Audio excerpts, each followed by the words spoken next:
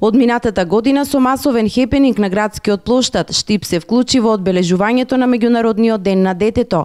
Во организација на детската градинка Астибо и денес на градскиот плоштад во Штип беше весело. Над 200 деца со своите родители се вклучија во глобалните манифестации за славење на среќата и благосостојбата на децата. Целта е единствена, тоа е среќата на нашите дечиња, бидејќи на вистина се среќни кога во некој проект заедно работат со родителите.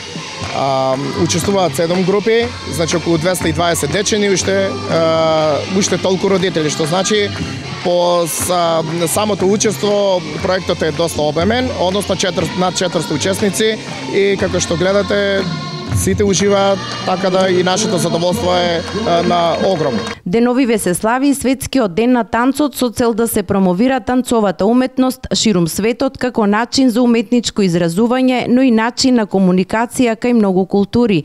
А Стибовата градинка од минатата година е вклучена и во големото семејство на институции каде се негува, практикува и слави танцот. Ние влеговме во овој меѓународен проект а, пред неколку години, но со реализација почнавме од а, минатата година така да може би во наредните години ќе начекате и на плоштадот овде во Штип да има видеобим во кој што ќе се уклучуваат и дечиња, игра на дечиња на вак, исти, исти од исти ваков тип и од други градови, со тоа што ќе го расшириме овој надвор од нашите граници. Светскиот ден на танцот се одбележува од 1982 година под покровителство на УНЕСКО. На овој датум е роден францускиот пеач, кореограф, зачетник на модерниот танц Жан Жорж Новер, кој се смета за еден од најголемите танцови реформатори.